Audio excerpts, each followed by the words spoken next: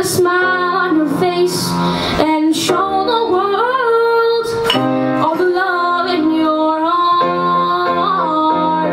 Then people gonna treat you better. You're gonna find, yes you will, but you're beautiful as you feel.